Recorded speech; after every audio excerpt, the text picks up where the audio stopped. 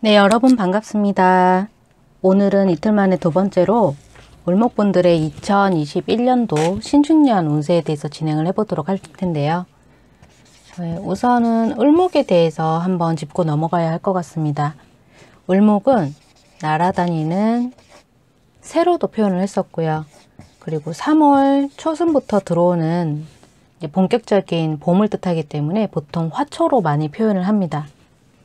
근데 을목의 성향 자체는 굉장히 자유롭습니다. 왜 자유롭냐 하면은 간목 같은 경우에는 얼어있는 땅에서 뚫고 올라오는 힘이 굉장히 컸었죠.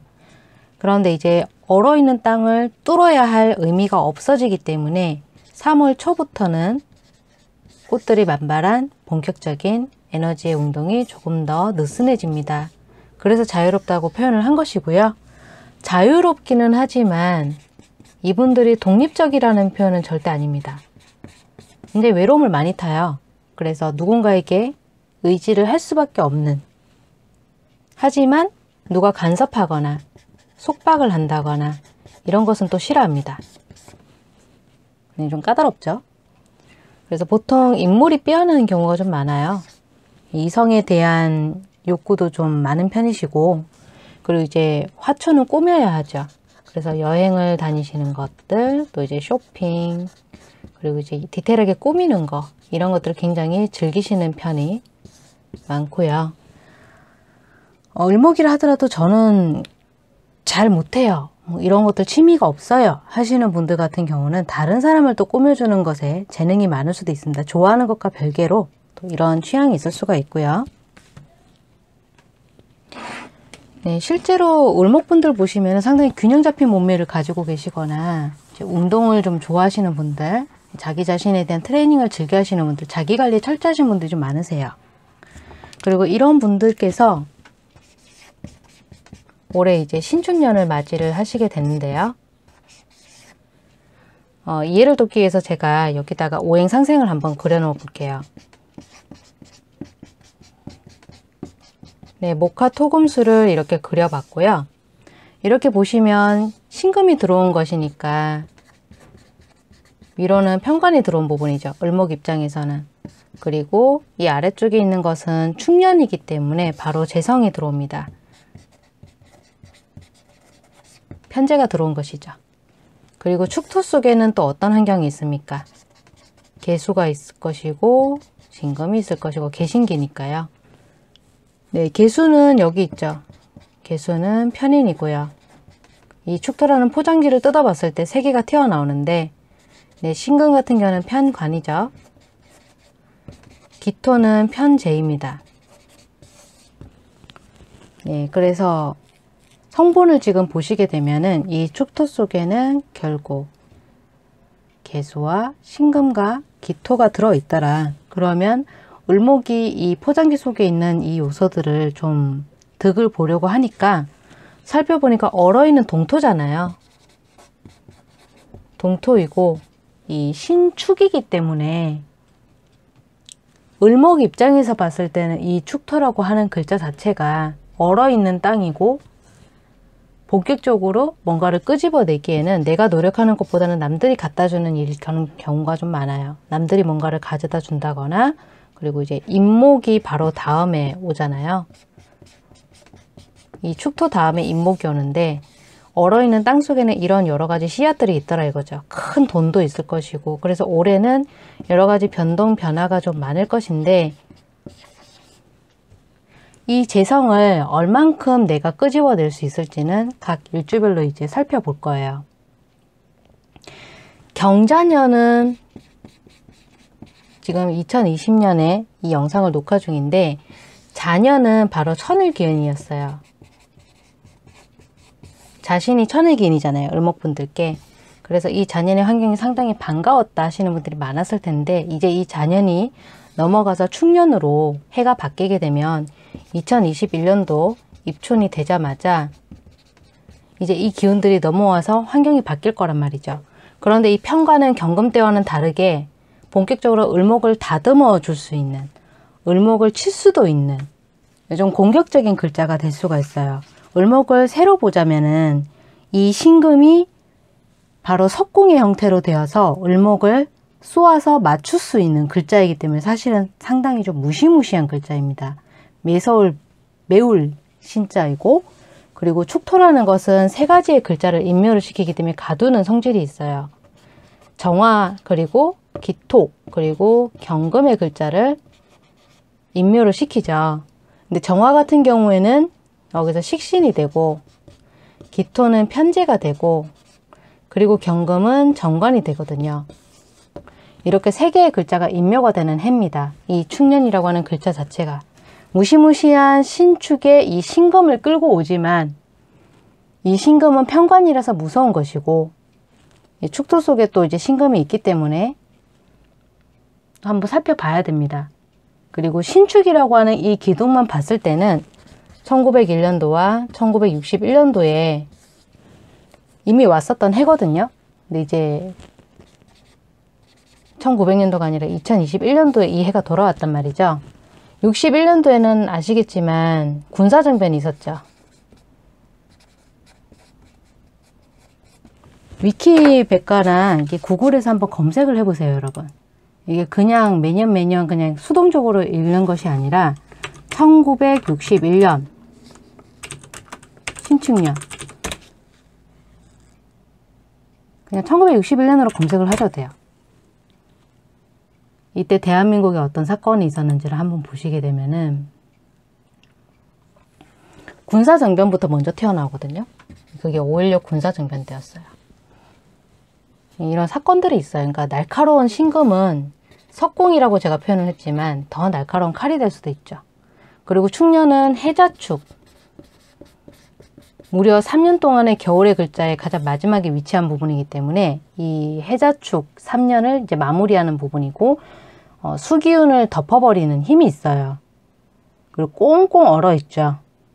겨울의 가장 마지막이기 때문에 그래서 이 신축년 때는 어떻게 보면 패대기 쳐진다라고 하는 표현 그대로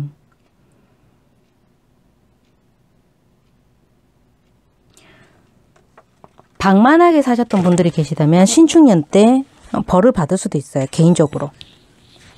에너지의 흐름 자체가 그렇습니다. 3년을 내리 부자가 없고 3년을 내리 거지가 있는 것이 아니거든요. 운적으로 봤을 때. 그래서 을목이 상당히 그동안 행복하기만 했었다. 그러면 석공에게 맞아서 추락을 할 수도 있는 해가 돼요. 네, 그래서 음, 이제 봄, 여름, 가을, 겨울 쪽으로 살펴볼 텐데 우선 을목의 오행 상생표를 보시게 되면 을목은 기본적으로 필요한 글자가 있습니다. 무엇이냐면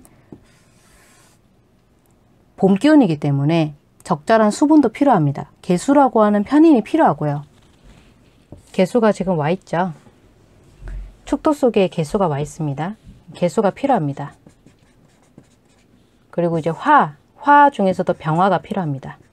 근데 신축년 속에는 화가 없습니다. 그래서 이 을목분들 중에서 본인의 사주를 봤는데 이제 원국에서 이런 병화가 을목 옆에 있더라. 혹은 이제 여기에 없고 어, 이렇게 월간에 있더라. 그러면 어, 아주 괜찮은 거죠. 신축년 자체가. 근데 내 원국에 화가 없다. 숨겨진 병화도 없을 뿐더러 병정화 중에서 한 글자도 없더라. 밑에 지지에도 묻혀있지 않고 사화가 있다면 더 좋고요. 어쨌든 천간에 드러나 있으면 더 좋은데 그런 글자가 없더라. 그러면 좀 문제가 있어요. 올해가 좀 힘이 들 수 있거든요. 어쨌든 개수 편인이 공급을 해주면 참 좋은데 음, 이런 양기가 이 화의 기운으로서 을목에게 이게 상관성이라고 해서 물론 이제 기운도 빼주는 것도 있지만 재성을 향한 추진력을 또 더해주는 부분이 있습니다. 어, 편관 신금은 우선 이 비겁인 을목을 극한다라고 이제 공식으로는 나와 있지만 올해는 정적인 애가 절대 못 돼요. 왜냐하면 축토는 동토이지만 올해는 그만큼 내가 시달리는 해이고 편관이 들어오기 때문에 거기다가 재성이잖아요. 변화가 상당히 큽니다. 건강이 나빠질 수가 있어요. 건강 잘 챙기셔야 됩니다. 을목분들 같은 경우. 그리고 뭐 여러 가지 상황도 봐야 되겠지만 결혼할 배우자가 생긴다던가 또 어떤 금전을 얻을 수 있는 기회가 생길 수 있거든요.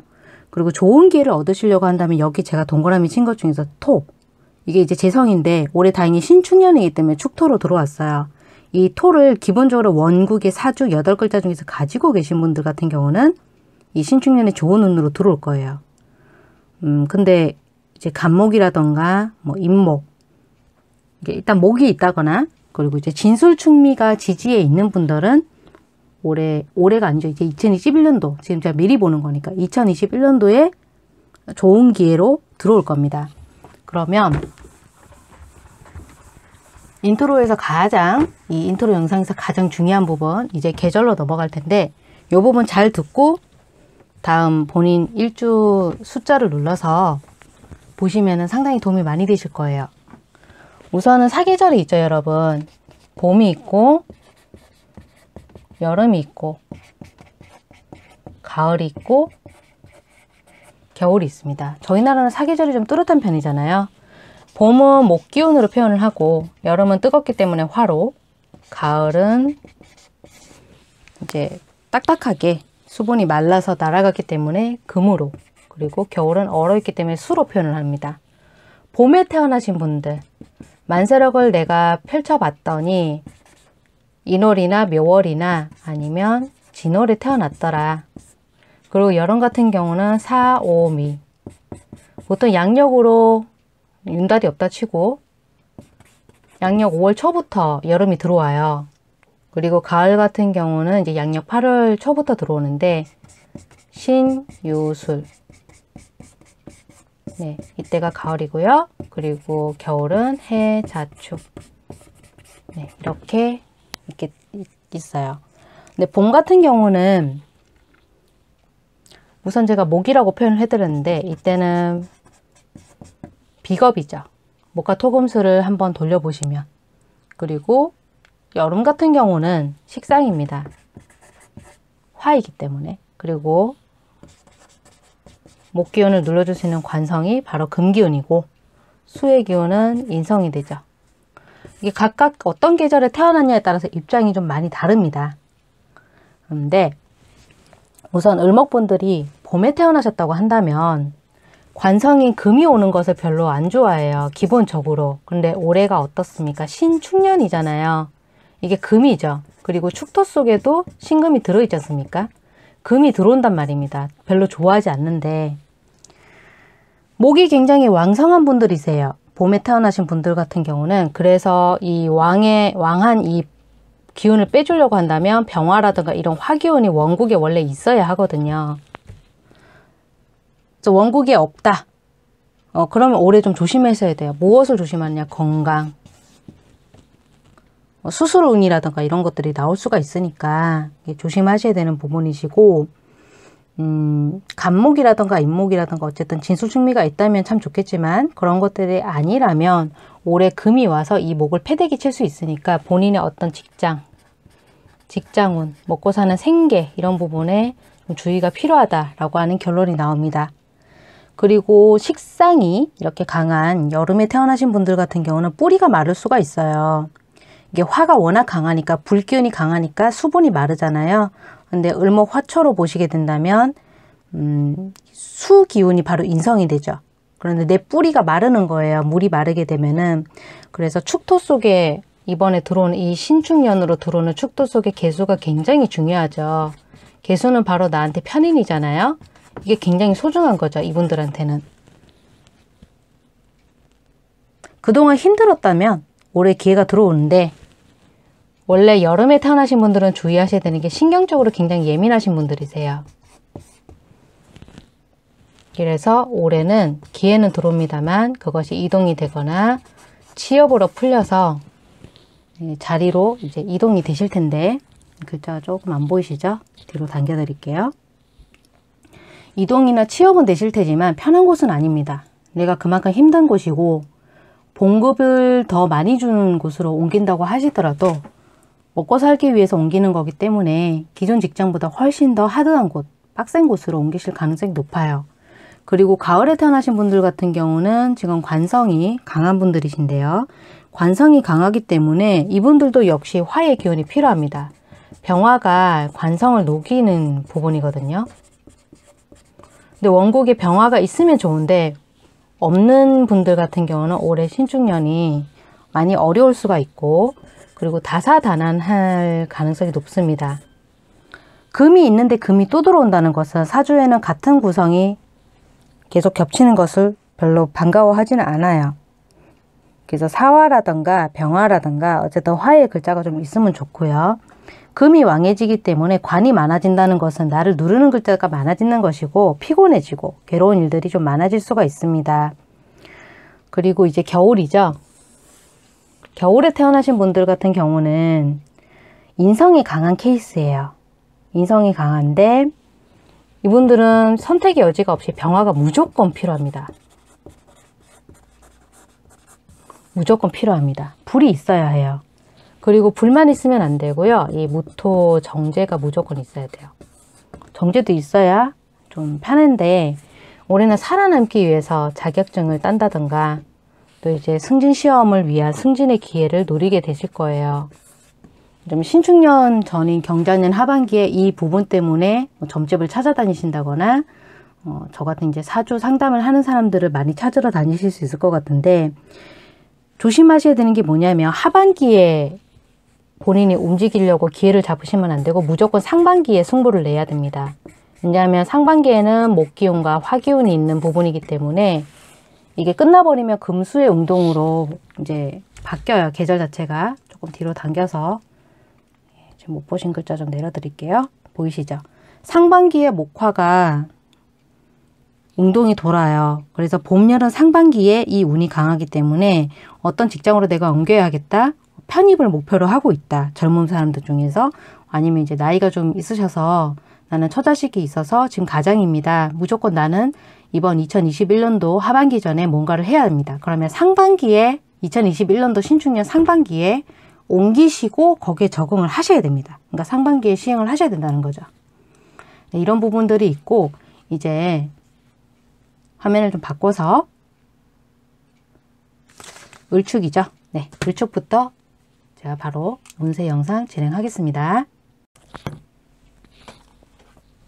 네, 이제 계속해서 을축부터 진행을 해볼게요.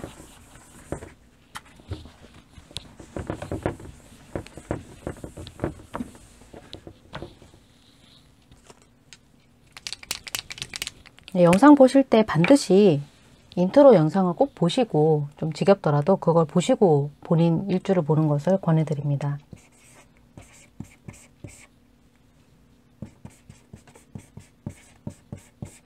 자, 을축일주가 신축년을 맞았습니다. 이해를 돕기 위해서 목과 토금수를 적어 놓을게요. 이걸 보시면서 따라오시면 됩니다. 자, 을축 일주를 먼저 보자면 축토는 편제를 깔고 있는 일주고요. 그리고 본인 입장에서는 세지, 세지라고 하죠. 어제 세지 환경이라고 하고요. 그리고 신축년이라고 하는 것은 보게 되면 편관이 들어온 해고요. 그리고 이 신축년 입장에서 봤을 때는 또 일간이 우선, 우선이기 때문에 일간 입장에서 봤을 때 역시 편제가 들어왔죠. 그리고 을목 입장에서 봤을 땐 여전히 쇠지에 해당이 됩니다. 물론 이제 신축이라는 기둥 자체에서 봤을 때는 얘가 이제 양지가 되죠. 신금 입장에서 봤을 땐 좀 다르죠. 음, 을축 입주, 일주에 그 천일기인의 해는 지나갔거든요. 경자년으로서 지나갔고 얘 같은 경우에는 이제 이 축도 속에 개신기가 들어있잖아요. 편인, 편관, 편제가 들어있는데 남자, 여자로 나눠서 좀 설명을 해드릴게요. 남자분들 같은 경우는 뭐 남녀노소 상당히 강한 분들이세요. 일축일주 자체가 남의 말에 좀 잘 흔들리지도 않고 좀 현실적인 부분이 있는데 아무래도 신금 부분 때문에 그런 것 같아요. 을류일주도 그렇거든요. 굉장히 좀 냉정한 카리스마가 있어요. 제 주변에도 을축일주 가지고 계신 분이 계시고요. 야무집니다. 상당히 영리하고 이제 건강은 좀 힘들어요. 올해 같은 경우도 이게 2021년도지만 제가 올해라고 그냥 표현을 할게요. 이게 신축년이 들어오게 되면 축축해져요.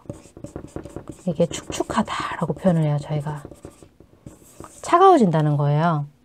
기본적으로 필요한 글자가 개수도 있지만 병화도 있다고 그랬죠. 근데 화가 전혀 없잖아요. 특히 원곡에 병화가 없는 분들 이런 분들은 올해 건강 상당히 조심하셔야 되거든요.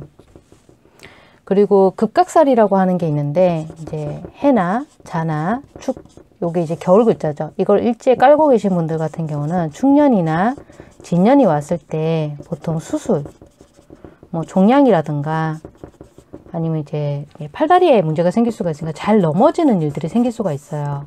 수술도 그렇고 사고수 이런 것도 조심하셔야 되거든요.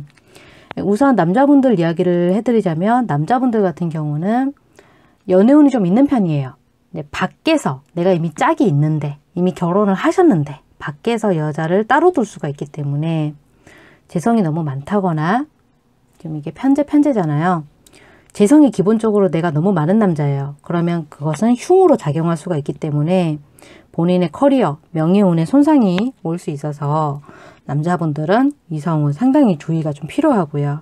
그런데 남자분들은 자식운은 상당히 좋아요. 이미 장성한 자제분들을 두고 계시다거나 어, 아이를 지금 이제 어느 정도 좀 키웠다. 그런 분들 같은 경우는 자식으로 인해서 기쁜 일이 또 생길 수가 있고 여성분들 같은 경우는 이제 좀 안 좋은 부분도 말씀을 드리자면 금전운이 약간 떨어질 수가 있어요. 재성이 들어온다고 해서 좋은 게 아니에요. 이게 내 돈이 아니거든요. 편제기 때문에 금전운이 다운될 수가 있어요.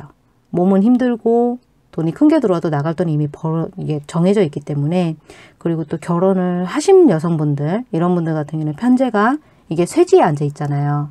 들어오는 해도 그렇죠. 신축년으로서 내가 볼 때도 이게 쇠지예요. 내가 봤을 때. 그래서 남편과의 관계가 지금 본인이 을축 일주이기 때문에 축토라는 것은 내 배우자의 글자이기도 하거든요. 배우자 자리가 돼요. 이 글자가. 물론 관이 아니라서 이건 내 배우자가 아니에요 라고 하실 수도 있겠지만 원래는 배우자 자리거든요. 남편과의 관계가 불안해질 수가 있어요. 이게 쇠지라고 하는 것은 쇠는 걸록 제왕 쇠잖아요. 근데 재성이라고 하는 것은 흔드는 변화거든요. 그래서 남편과의 관계가 불안해질 수가 있고 결혼을 한 여성분들 같은 경우는 별거라던가 이혼이라던가 어, 이런 이별에 대한 가능성도 또 들어올 수 있는 해기 때문에 어, 이런 부분들은 을죽일주 분들께서 조금 오래 염두를 해두시고 음, 이제 2021년도 조심을 하시는 것이 좋겠습니다. 금전은 내 돈이 안 된다고 그랬습니다. 그것은 남자든 여자든 마찬가지로 작용을 할 것이고요. 이제 물론 뭐 여러 가지 글자들을 다 보면 좋겠지만 단적으로 이렇게 일주만으로 말씀을 드렸습니다. 그 다음에 을묘일주 볼게요. 을묘일주 분들은 상당히 참 을목분들 자체가 원래 인물이 참 괜찮은데 이것도 이제 화초의 기운이 워낙 세서 지금 보시면 이게 비견이잖아요. 비견이고 얘는 이제 걸럭이라고 하죠.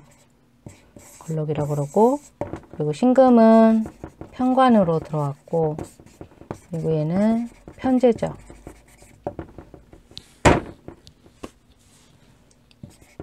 세지라고 했습니다.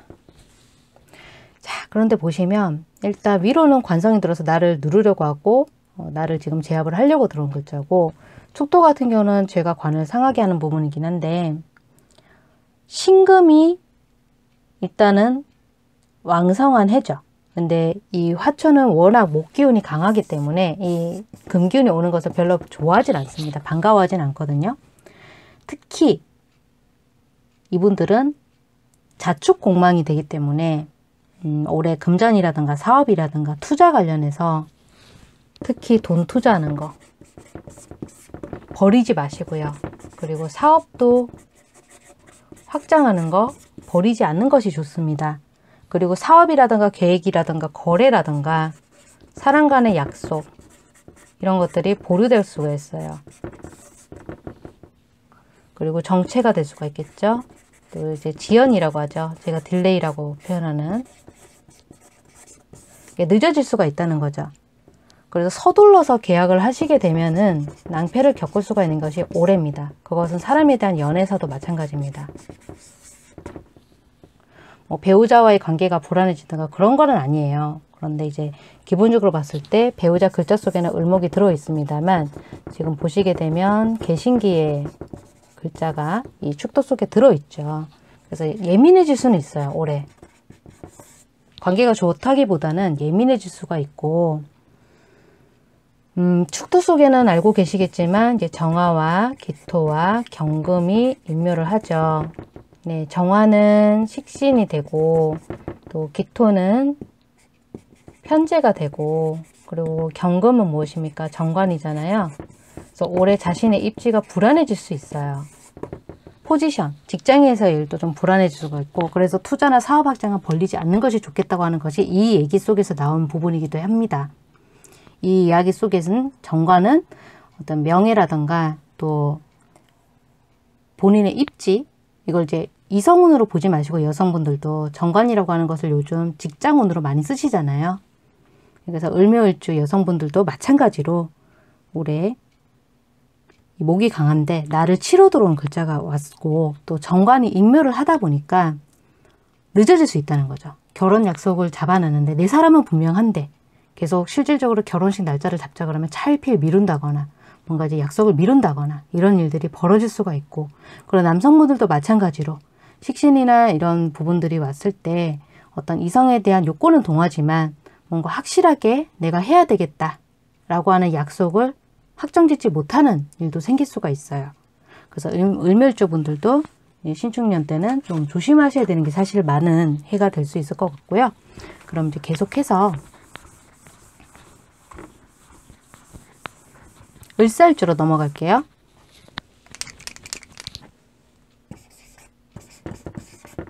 을살주가 신축년을 맞았을 때 지금 보시면 을사니까 산은 상관이에요. 상관을 깔고 있는 부분이고 그리고 이것은 을목 입주, 입주에게 목욕지에 해당이 되죠.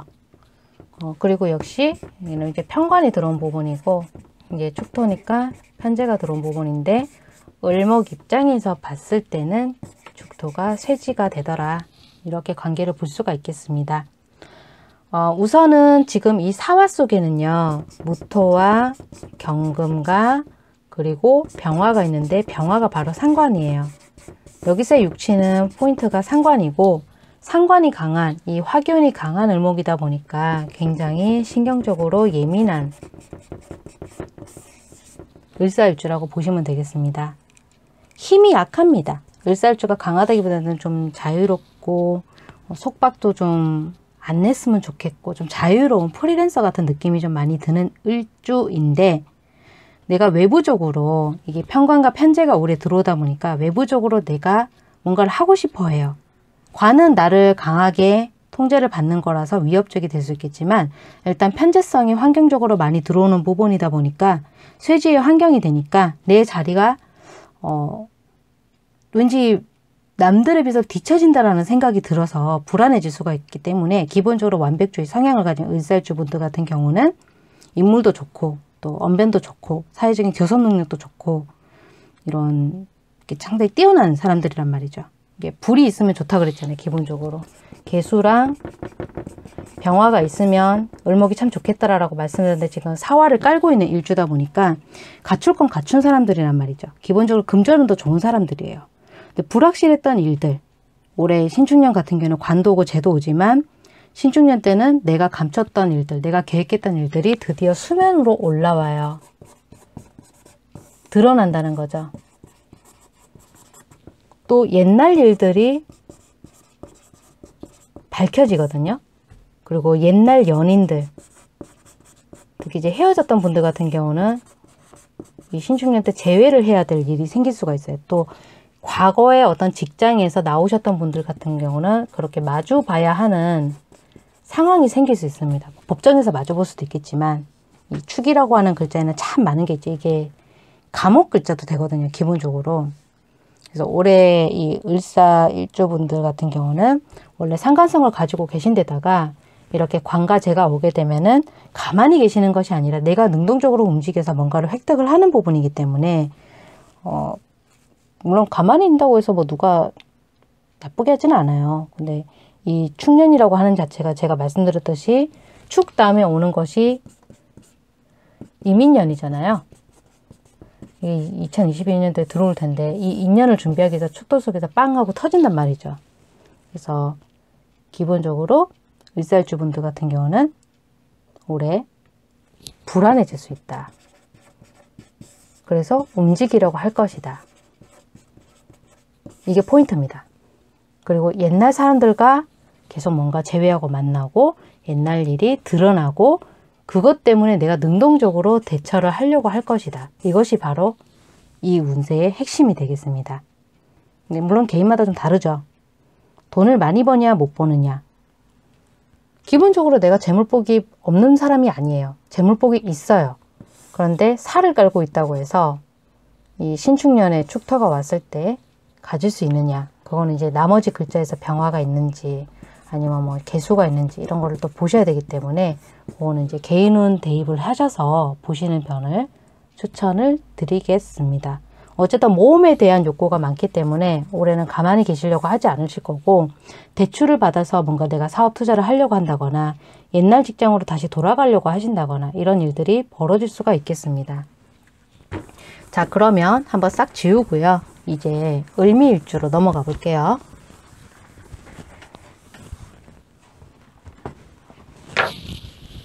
운세 작업이 굉장히 좀 기운이 많이 들어가요. 그래서 한 번 올리면은 저는 한 하루 반에서 이틀 정도 쉬어주는 것 같아요. 다른 일도 같이 하고 있습니다만 여러분들 응원 많이 해주시면 더 열심히 하겠습니다.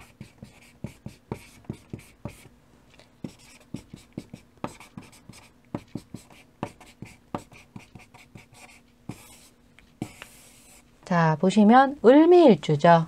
예, 미토를 깔고 있으니까 이 일주는 편제를 깔고 있는 부분이고요. 이건 이제 양지에 해당이 됩니다. 그리고 신축년이 들어왔으니까 편관이 들어왔고 그리고 축토를 이제 환경적으로 들어오는 부분이기 때문에 현재가 들어왔죠. 네, 그리고 축이라는 것은 제가 을목 입장에서 쇠지라고 했습니다.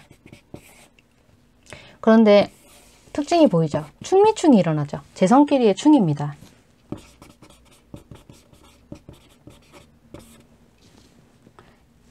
충미가 이렇게 충을 하게 되는데 사실 충미는 이제 또 못 보시는 분들 많으시니까 이제 이렇게 저희가 자축인묘를 했을 때요. 동그랗게 원을 저희가 또 이렇게 할 수 있거든요.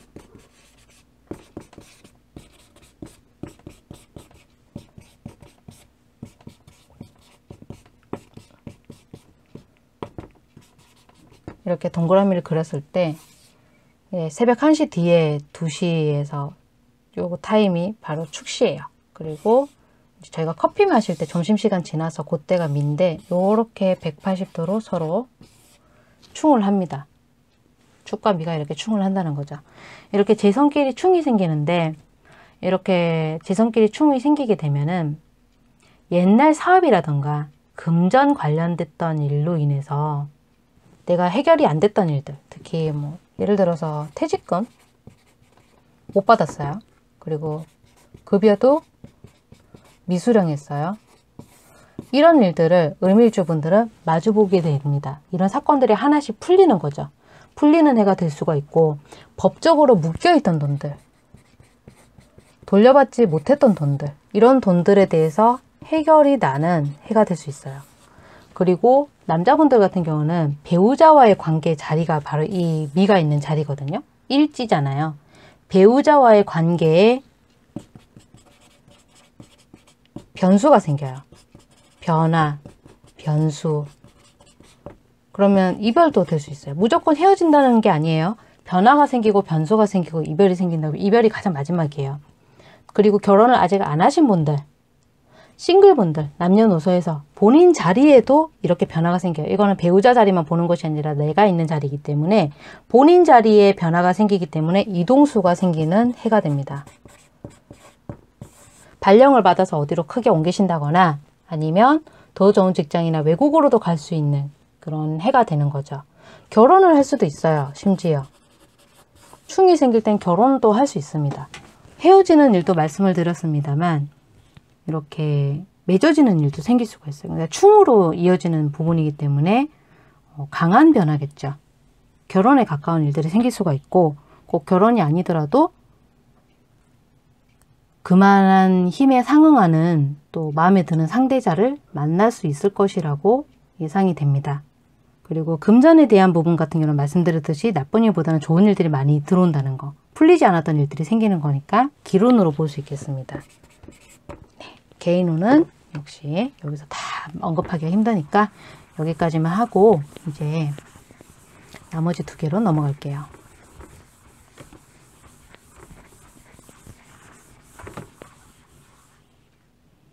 자, 이제 마지막으로 이제 을류랑 의뢰가 남았네요. 자, 을류일주이고 신축년 이해를 돕기 위해서 이렇게 오행 상생표를 적었습니다. 자, 을류일주는요. 아까 을축일주 처음에 시작했을 때보다 더 현실적이고 더 카리스마가 있어요. 이분들 같은 경우는 기본적으로 편관을 깔고 있죠. 그리고 이제 을목 입장에선 절지에 해당이 되거든요. 이 유금 속에 들은 게 사실 이제 신금이에요. 이 글자가 올해 들어왔죠. 편관이 들어왔고 신축년이니까 그리고 을목 입장에서 봤을 때는 편재의 환경이고 세지라고 했습니다. 축토 속에도 개신기라고 해서 이렇게 신금이 또 들어있죠. 편관이. 편관인데 편관이 또 들어온 거죠. 거기다가 사유축의 유축으로 서로 합의되기 때문에 금인 관의 운동이 생깁니다. 관성에 대한 운동이 생기는 거죠. 현실적인 분들이 을류일주라고 했습니다. 거기다 절지에 앉아있기 때문에 금전이 상당히 중요합니다. 명예도 중요하지만 금전이 더 중요해요. 돈 없으면 안 돼요. 근데 올해 이렇게 관의 운동성이 상당히 세진 데다가 재성이긴 합니다만 전체적으로 관운동이 생기게 되면 수험생 분들이 만약에 을을주잖아요. 여러 가지 시험 형태도 참 다양하죠. 대입 시험도 있을 것이고 임용 시험도 있을 것이고 공무원 시험도 있을 것이고 공기업 입사 시험도 있을 것인데 재수를 하기 할 수가 있어요. 수험생분들 같은 경우는 다시 리바이벌 하는 왜냐면 신유술 금의 마무리를 짓고 금수가 가장 마지막에 오는 것이 축이라고 하는 last 자리예요. 다시 보는 일이 생겨요. 이게 금이 세지면은.